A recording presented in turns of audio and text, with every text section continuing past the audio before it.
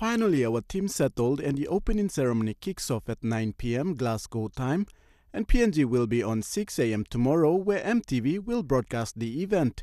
The Austin community was working tirelessly behind the scene with all the glitz and glamour just hours away for us to see. Just seeing the city that the energy's building and it's growing and it's The time has come now for our athletes to take center stage and there is no doubt they all will be aiming to deliver the best possible results they can to lift the standard of PNG at the Commonwealth level.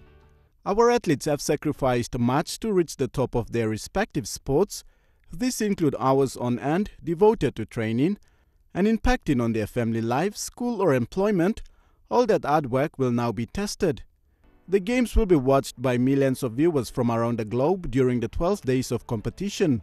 Termed as strongman of the Pacific region and flag bearer at the games, Steven Kari looks poised to sweep gold.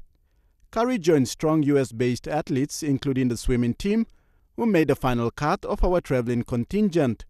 EMTV will bring the game starting from Thursday and onwards after the EMTV National News replay. Tere Alex, National EMTV News.